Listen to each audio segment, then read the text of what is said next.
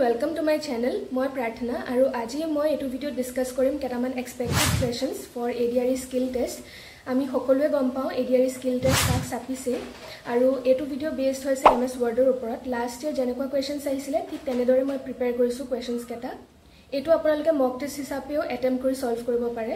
চ' without wasting মোৰ time আহকচোন ভিডিঅ'টো ষ্টাৰ্ট কৰোঁ। এইটো ভিডিঅ'ৰ কাৰণে মই খালী দুটা কুৱেশ্যনছে লৈছোঁ। মই নেক্সট ভিডিঅ'ত আৰু কেইটামান কুৱেশ্যনৰ কথা ডিছকাছ কৰিম।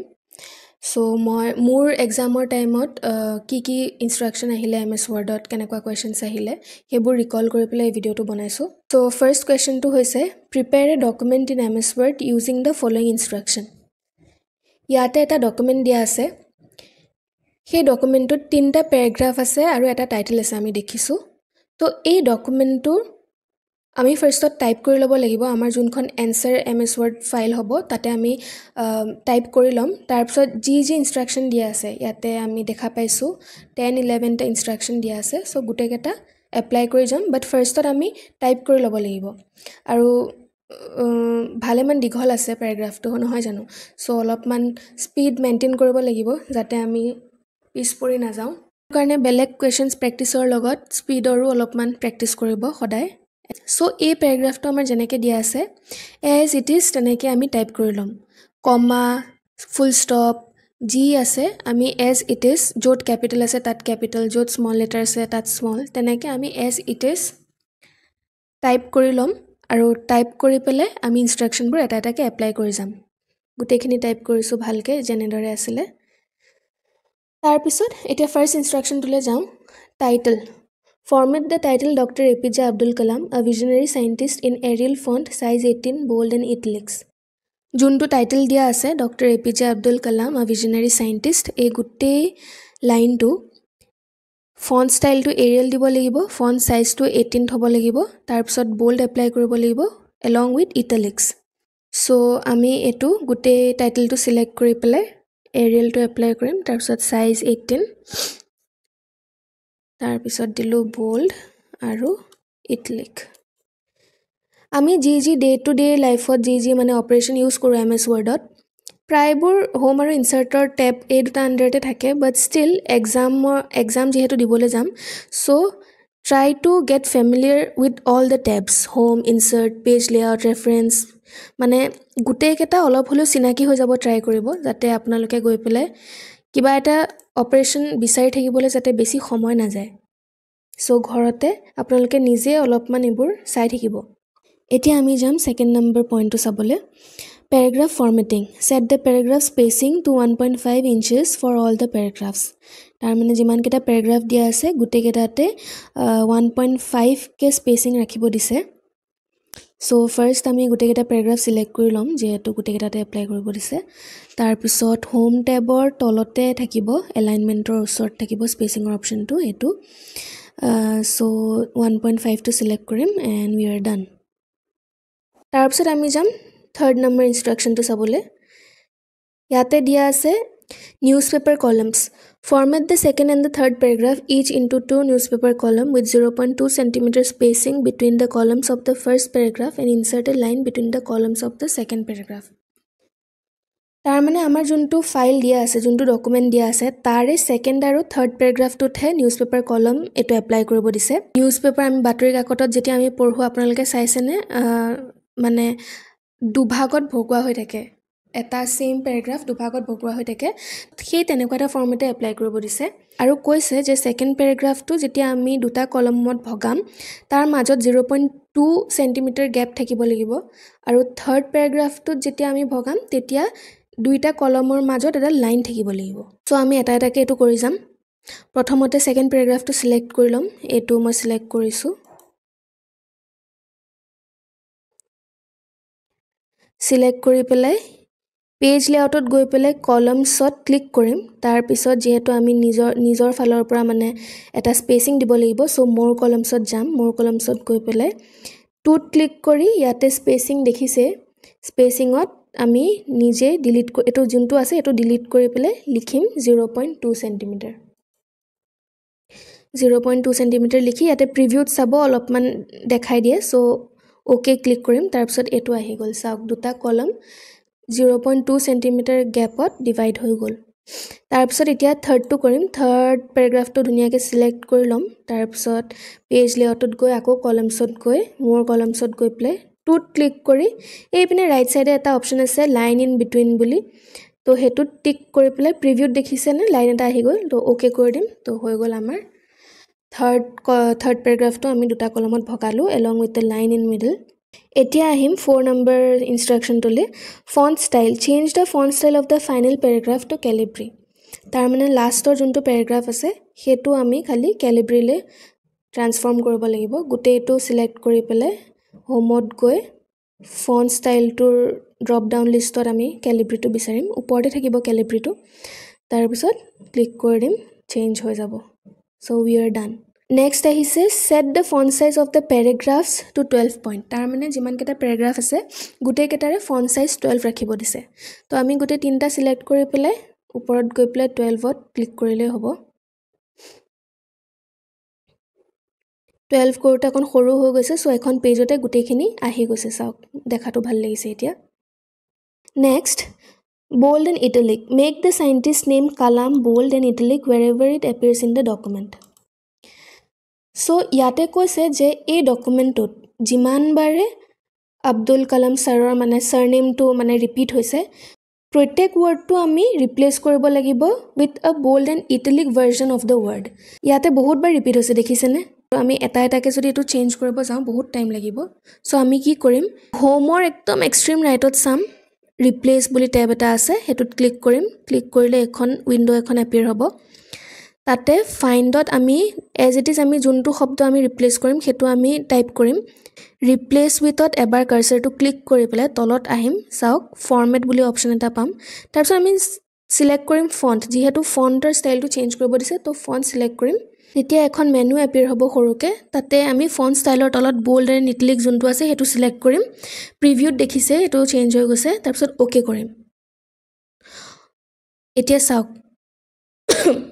এতিয়া চাওক ইয়াতে আছে ফাইণ্ড ৱাট কালাম আৰু ৰিপ্লেচ উইথ ফৰ্মেট আছে বল্ড আৰু ইটলিক মই ৰিপ্লেচ উইথত একো লিখা নাই কাৰণ আমাক নতুন এটা শব্দৰে ৰিপ্লেচ কৰিব দিয়া নাই। আমাক জাষ্ট ছেইম ৱৰ্ডে থাকিব জাষ্ট বল্ড এণ্ড ইটেলিক হিচাপে মানে ৰিপ্লেচ কৰিব দিছে। চ' মই এইটো খালী ৰাখিছোঁ। কুৱেশ্যন পেপাৰত যদি কয় যে replace this word by another word যেতিয়া যোনটো ৱৰ্ড দিয়া থাকে সেইটো সেইটো আমি টাইপ কৰি দিম। চ' ইয়াতে যিহেতু কোৱা নাই মই সেইটো খালী ৰাখিছোঁ।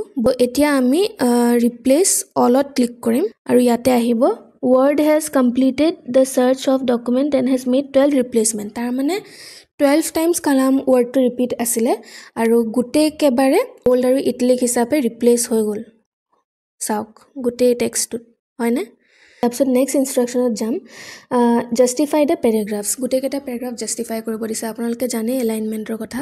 লেফ্ট ৰাইট মিডল আৰু জাষ্টিফাই চ' গোটেইকেইটা পেৰাগ্ৰাফতে কৰিব দিছে যিহেতু। মই এবাৰ এবাৰ এনেকৈ ক্লিক কৰি জাষ্ট ক'ৰবাত কাৰ্চাৰটো প্লেচ কৰি জাষ্টিফাইটো ক্লিক কৰিম আৰু। জাষ্টিফাই হৈ গৈছে। জাষ্টিফাই হৈ যাওঁতে এই ছেকেণ্ড পেৰাগ্ৰাফৰ যোনটো গেপ আছিলে এইটো ইমান ধৰিব পৰা নাই। চ' মই অকণমান গেপটো বঢ়াই দিছোঁ। এইটো জাষ্ট আপোনালোকক ক্লিয়াৰকৈ দেখাবলৈহে মই কৰিছোঁ। কুৱেশ্যন পেপাৰত যেনেকৈ দিয়া থাকে আপোনালোকে সেইটোৱে কৰিব। ইয়াতে জাষ্ট মই মানে গেপটো অলপমান বঢ়াই দিম যাতে ইয়াতে আপোনালোকে ধৰিব পাৰে যে আমি যে কিবা এটা স্পেচিং এপ্লাই কৰিছোঁ। চ' মই এইটো জিৰ' পইণ্ট ফাইভ কৰি দিওঁ। অ'কে চ' হৈ গৈছে এইটো চাওক। এতিয়া দেখাত বেছি ভাল লাগিছে। Next page number insert page number at the bottom right corner of each page so' page number apply কৰিব দিছে কিন্তু য'তে ত'তে নহয় বটম ৰাইট কৰ্ণাৰত দিব দিছে। চ' আমি ইনচাৰ্টত যাম। ইনচাৰ্টত গৈ পেলাই এইপিনে ৰাইট হেণ্ড ছাইডে পেজ নাম্বাৰ থাকিব। আৰু যিহেতু বটম কৰিছোঁ বটমৰ ওপৰত আমি কাৰ্চাৰটো ৰাখিম। তাৰপিছত পজিশ্যনছখিনি আমি দেখা পাম। এটা লেফ্ট আছে এটা মিডল আছে তিনি নম্বৰটো ৰাইট আছে। তো সেই ৰাইটটো আমি ক্লিক কৰি দিম। আহি গৈছে। বাহিৰত এবাৰ ডাবল ক্লিক কৰি দিম। তাৰপিছত ধুনীয়াকৈ পেজ নাম্বাৰটো আহি যাব। চাওক আহি গ'ল। Next insert watermark as প্ৰাৰ্থনাজ classes এটা ৱাটাৰমাৰ্ক ইনচাৰ্ট কৰিব দিছে ফাইলটোত আৰু সেইটো কাৰণে আমি পেজ লেআউটত যাম সেই ৱাটাৰমাৰ্কটোৰ সেই এৰ'ডালত ক্লিক কৰি আমি কাষ্টম ৱাটাৰমাৰ্কত যাম যিহেতু শব্দটো আমি নিজৰ ফালৰ পৰা দিম টেক্সটটো তো কাষ্টম ৱাটাৰমাৰ্কত যাম কাষ্টম ৱাটাৰমাৰ্কত যোৱাৰ পিছত ইয়াতে টেক্সট ৱাটাৰমাৰ্কত চিলেক্ট কৰিম। তাৰপিছত যোনটো টেক্সট অপশ্যন মানে জেগাটো আছে তাতে আমি যোন কুৱেশ্যন পেপাৰত যোনটো ৱৰ্ড দিয়ে সেইটোৱে আমি এণ্টাৰ কৰিব লাগিব। আৰু তাতে ফণ্ট যদি সলাব দিয়ে তেতিয়া আমি ইয়াতে সলাব পাৰোঁ। চাওক তলতে ফণ্টৰ মানে জেগাটো আছে। আৰু ডাইগনেলি দিব লাগে নে হৰাইজেণ্টেলি দিব লাগে সেইবোৰ অপশ্যন আছে। ইয়াৰ পৰাই আপোনালোকে চেঞ্জ কৰিব পাৰিব। তাৰপিছত ten number instruction perform double strike through in the last line মানে গোটেই টেক্সটোৰ যোনটো লাষ্ট লাইন আছে সেইটোত খালি ডাবল ষ্ট্ৰাইক থ্ৰু দিব দিছে। গোটেইটো আমি চিলেক্ট কৰিম আৰু এইটো আমি পাম। ফন ষ্টাইলৰ তলতে থাকিব এইটো। কিন্তু এইটো হৈছে single strike through to double strike থ্ৰুৰ কাৰণে আমি এই এৰ'ডাল ক্লিক কৰি পেলাই ইয়াতে আমি এই তলত চাওক এফেক্সৰ তলতে থাকিব ডাবল ষ্ট্ৰাইক থ্ৰু ইয়াতে আমি ক্লিক কৰি পেলাই অ'কে কৰি দিম। আৰু প্ৰিভিউটো আহি গৈছে এনেকৈ আহিব। তাৰপিছত লাষ্টটো হৈছে apply drop cap on the second paragraph আমি আগতে দেখিছোঁ কিতাপবিলাকত বা নভেল কিছুমানত যেতিয়া ষ্টাৰ্টিং এলফাবেটটো মানে কেতিয়াবা ডাঙৰকৈ লিখে সেইটোৱে হৈছে ড্ৰপ কেপ ইয়াতে ছেকেণ্ড পেৰেগ্ৰাফত আমাৰ ড্ৰপ কেপটো এপ্লাই কৰিব দিছে। চ' ইয়াতে ছেকেণ্ড পেৰেগ্ৰাফৰ ফাৰ্ষ্টৰ ৱৰ্ডটোতে মই কাৰ্চাৰটো ৰাখিলোঁ ষ্টাৰ্টিঙত তাৰপিছত ইনচাৰ্টত যাম ইনচাৰ্টত গৈ পেলাই এইপিনে ড্ৰপ কেপ অপশ্যনটো থাকিব তাতে গৈ পেলাই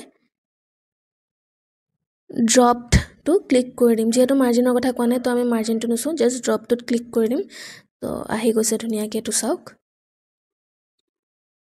চ' আমাৰ এতিয়া গোটেইকেইটা ইনষ্ট্ৰাকশ্যন কমপ্লিট হৈ গ'ল আৰু এতিয়া কৈছে save the document with your name নিজৰ নামেৰে ছেভ কৰিব দিছে। আৰু আমি যেতিয়া এক্সাম হলত থাকিম তাতে আমাক তেওঁলোকে ইনষ্ট্ৰাকশ্যন দিবই যে ডেস্কটপত ছেভ কৰিব লাগে নে কিবা পাৰ্টিকুলাৰ ফ'ল্ডাৰ বনাই তাত ছেভ কৰিব লাগে। তেনেকৈ আপোনালোকক কৈ দিব কাৰণ আমাকো কৈছিলে। আমাক ডেস্কটপতে ছেভ কৰিব কৈছিলে এটা ফ'ল্ডাৰ বনাব দিছিলে তাতে তিনিটা ফাইল আমাক ছেভ কৰিব দিছিলে। মই জাষ্ট আপোনালোকক দেখাবলৈ ইয়াতে ডেস্কটপত এনেই ছেভ কৰি দিছোঁ। এইটো ফাইল নেমত ৰিনেম কৰিছোঁ নিজৰ নামেৰে তাৰপিছত ছেভত ক্লিক কৰিম। So' our file is saved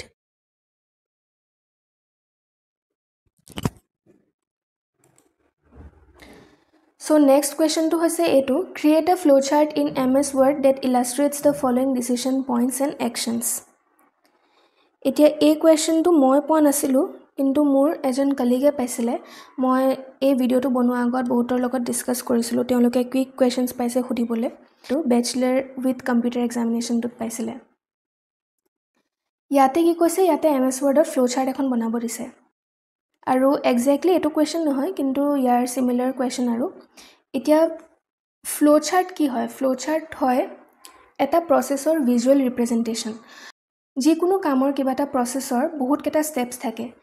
সেই ষ্টেপছবোৰ যেতিয়া আমি with the help of shapes বা লাইনছ বা কানেক্টেড শ্বেপছ আমি যেতিয়া কাৰোবাক বুজাবলৈ বা প্ৰেজেণ্টেশ্যন দিবলৈ আমি যেতিয়া বনাওঁ সেইটোকে কয় ফ্ল' চাৰ্ট মানে চিম্পল কুৱেশ্যন এটা প্ৰিপেয়াৰ কৰিছোঁ জাষ্ট আইডিয়াটো দিবলৈ। তাৰপিছত মই নেক্সট ভিডিঅ' এটা বনাব ট্ৰাই কৰিম য'ত অলপমান কমপ্লিকেটেড ফ্ল' চাৰ্ট এখন থাকিব। ইয়াতে ইয়াতে কুৱেশ্যনটো কি দিছে ব'লকচোন এবাৰ বুজি লওঁ। Starting point travel point one transportation under it private public under private bike car cycle তাৰমানে আমি এইটো বুজিছোঁ যে কোনোবাই ট্ৰেভেল কৰিব আৰু ট্ৰেভেল কৰিবলৈ আমাক ট্ৰান্সপৰ্টেশ্যন লাগে। চ' ট্ৰেভেলৰ তলত আহিব ট্ৰান্সপৰ্টেশ্যন আৰু ট্ৰান্সপৰ্টেশ্যন দুই ধৰণৰ হ'ব পাৰে। এটা হৈছে প্ৰাইভেট এটা পাব্লিক প্ৰাইভেটৰ তলত আমি বাইক কাৰ চাইকেল পাম আৰু পাব্লিকৰ তলত bus e rickshaw Uber Rapido' etcetera so' এইটোৱে আমি ফ্ল' চাৰ্ট হিচাপে বনাব লাগে। Format the shapes in two different colours and make the flow' chart visually appealing and text use font eighteen in the starting point and font size twelve in the rest তো starting যোনটো হ'ব সেইটোত eighteen use কৰিব দিছে। তাৰমানে ট্ৰেভেলটোত আমি eighteen use কৰিব লাগিব। বাকী চবতে টুৱেলভ ইউজ কৰিব দিছে। চ' ব'লকচোন বনাওঁ। ফ্ল' চাৰ্ট যেতিয়া এনেকৈ দিয়া থাকে কুৱেশ্যনটোত যেতিয়া একো মেনশ্যন নকৰে ধৰক একো শ্বেপছৰ কথা মেনশ্যন কৰা নাই জাষ্ট এখন ফ্ল' চাৰ্ট বনাব লাগে। ইজিলি এখন ফ্ল' চাৰ্ট বনাব লাগে। তেতিয়া এটা বহুত ইজি ৱে এটা আছে ফ্ল' চাৰ্ট বনোৱাৰ। সেইটো মই দেখাই আছোঁ। আমি ক্ৰন'লজিকেলি গোটেইখিনি লিখি ল'ম। ট্ৰেভেল তাৰপিছত নেক্সট লাইন এণ্টাৰ ক্লিক কৰি পেলাই নেক্সট লাইন ট্ৰান্সপৰ্টেশ্যন কুৱেশ্যনত যেনেকৈ দিয়া আছে ট্ৰান্সপৰ্টেশ্যন তাৰপিছত নেক্সট লাইন কিন্তু প্ৰাইভেটৰ তলত এতিয়া পাব্লিক নিলিখিব প্ৰাইভেটৰ তলত কি কি ভেহিকেলছৰ কথা কৈছিলে সেইকেইটা লিখিম আমি কাৰণ আপোনালোকে যেতিয়া ফ্ল' চাৰ্টখন প্ৰিপেয়াৰ কৰিব তেতিয়া গম পাব এইটো মই কিয় কৰি আছোঁ প্ৰাইভেটৰ তলত কি আছিলে বাইক কাৰ চাইকেল নেক্সট হ'ব পাব্লিক পাব্লিক ট্ৰান্সপৰ্টেশ্যন পাব্লিক ট্ৰান্সপৰ্টেশ্যনত আছিলে বাছ ই ৰিক্সা তাৰপিছত আছিলে উবেৰ তাৰপিছত আছিলে ৰেপিড' এইটো আমি ক্ৰনলজিকেলি লিখি ল'লোঁ। জাষ্ট এনেই চিম্পলকৈ এনেকৈ লিখি ল'লেই হ'ব। তাৰপিছত চাব এতিয়া কেনেকৈ এইখন ফ্ল' চাৰ্টলৈ কনভাৰ্ট কৰিছোঁ। গোটেইখিনি ষ্টাৰ্টিঙৰ পৰা এণ্ডলৈকে কপি কৰি ল'ম। তাৰপিছত ইয়াতে থাকিব ইনচাৰ্টত যাব। চাব স্মাৰ্ট আৰ্ট স্মাৰ্ট আৰ্টত ক্লিক কৰিব। তাৰপিছত যাব হাইৰাৰ্কি দেখিছেনে? গোটেইকেইখন ফ্ল' চাৰ্টে হয়। তাৰ ভিতৰত যিকোনো এখন আমি চিলেক্ট কৰিম। যিহেতু ইয়াতে একো মেনশ্যন কৰা নাই ষ্টাইল বা কিবা। তো মই চিলেক্ট কৰিছোঁ ধৰক এইখন চিলেক্ট কৰিছোঁ। তাৰপিছত অ'কে ক্লিক কৰিম। এইটো চাওক আহি গ'ল হয়নে? এইটো গোটেইকেইটা এম টি হৈ আছে বক্সকেইটা কাৰণ আমি এতিয়ালৈকে ইয়াতে একো লিখা নাই ভিতৰত। তো আমি ক্লিক কি কৰিম? ইয়াতে ছাইডত দুটা এইটো দেখিছেনে? বাটন এটা আছে এই বাটনটোত আমি ক্লিক কৰিম। তাৰপিছত আমি যি যি কপি কৰিছিলোঁ অথনি গোটেইখিনি ইয়াতে পেষ্ট কৰি দিম। কণ্ট্ৰল ভি তো আমি গোটেইখিনি পেষ্ট কৰি দিলোঁ। গোটেইখিনি আহি গ'ল travel transportation private bike car cycle public bus e rickshaw Uber Rapido' আৰু ইয়াতে চাওকচোন ইয়াতো গোটেইখিনি আহি গৈছে দেখিছেনে? এক এক লাইনত আহি গৈছে। কাৰণ গোটেইখিনি আমি একেলগে পেষ্ট কৰি দিছোঁ। এতিয়া আমি এখন মডিফাই কৰিম। এতিয়া আমাক লাগে ট্ৰান্সপৰ্টেশ্যন ট্ৰেভেলৰ তলত লাগে। চ' আমি ট্ৰান্সপৰ্টেশ্যনত ক্লিক কৰিম টেব এবাৰ ক্লিক কৰিম। লগালগ দেখিছেনে? ট্ৰেভেল ট্ৰান্সপৰ্টেশ্যনটো ট্ৰেভেলৰ তলত আহি গৈছে। টেব ক্লিক কৰোঁতে। এতিয়া ট্ৰান্সপৰ্টেশ্যনৰ লগত আমি একো সলাব নালাগে। আমি এতিয়া প্ৰাইভেটক ট্ৰান্সপৰ্টেশ্যনৰ তলত আনিব লাগিব। চ' আমি এতিয়া প্ৰাইভেটত যাম প্ৰাইভেটত ক্লিক কৰিম। টেব এবাৰ ক্লিক কৰিম। আমি দেখিছোঁ যে এবাৰ ক্লিক কৰোঁতে ট্ৰেভেলৰ তলত আহিছে। তো দুবাৰ ক্লিক কৰি চাওঁ। সেয়া ট্ৰান্সপৰ্টেশ্যনৰ তলত আহি গ'ল। চ' আৰু প্ৰাইভেট ইজ অলছ' ডান তাৰপিছত আমি এই বাইক কাৰ চাইকেল গোটেইকেইটা আমি আনিব লাগিব প্ৰাইভেটৰ তলত চ' আমি তিনিবাৰ টেব ক্লিক কৰিব লাগিব ওৱান টু থ্ৰী আহি গ'ল প্ৰাইভেটৰ তলত চিমিলাৰলি কাৰত যাব ওৱান টু থ্ৰী চাইকেলত যাব ওৱান টু থ্ৰী এইটো চাওক ট্ৰেভেল ট্ৰেন্সপৰ্টেশ্যন প্ৰাইভেট প্ৰাইভেটৰ তলত আহি থাকিব বাইক কাৰ চাইকেল হৈ গ'ল পাব্লিকটো আনিম ট্ৰান্সপৰ্টেশ্যনৰ তলত চ' ওৱান টু আহি গ'ল। ট্ৰান্সপৰ্টেশ্যনৰ তলত পাব্লিক আৰু চিমিলাৰলি বাছৰ কাৰণে one two three e rickshaw one two three এইটো মই টেব ক্লিক কৰি আছোঁ। তাৰপিছত এই যে খালীৰ যে টেক্সকেইটা আছে এই টেক্সকেইটা আমি ইয়াৰ পৰা ডিলিট কৰি দিম। বেক স্পেচ কৰি পেলাই ডিলিট কৰি দিম। এইটো চাওকচোন গোটেইকেইটা খালী টেক্সট থকা বক্সকেইটা নাইকিয়া হৈ গ'ল।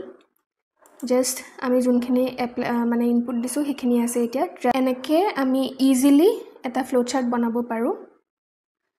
আৰু যিহেতু ইয়াতে কালাৰ চেঞ্জ কৰিব দিছে চ' এইটো এনেকৈ ৰাইট ক্লিক কৰি পেলাই তলত চাব এইটো শ্বেপ ফিল তো এইটো যদি ক্লিক কৰি দিছোঁ এইটো পিংকিছ টাইপৰ কালাৰ আহি গৈছে। আকৌ এইটোত ক্লিক কৰিব ৰাইট ক্লিক বেলেগ কালাৰ চুজ কৰিম ব্লু চুজ কৰিলোঁ ছাপ'জ এইটো ইয়াতে দিছিলে ফণ্ট চাইজটো চেঞ্জ কৰিবলৈ এইটিন আৰু টুৱেল্ভ কৰিব দিছিলে। তো ইয়াতে এইটো চিলেক্ট কৰি পেলাই এইটিন আৰু যিহেতু তলত আহি গৈছে তাৰমানে বক্সটো সৰু হৈছে অকণ বক্সটো অকণমান বঢ়াই দিলেই হ'ল।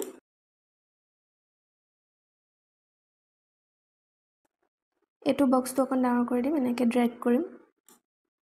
হৈ গ'ল বেছি ডাঙৰ হ'ল। এইটো অকণমান সৰু কৰি আছোঁ।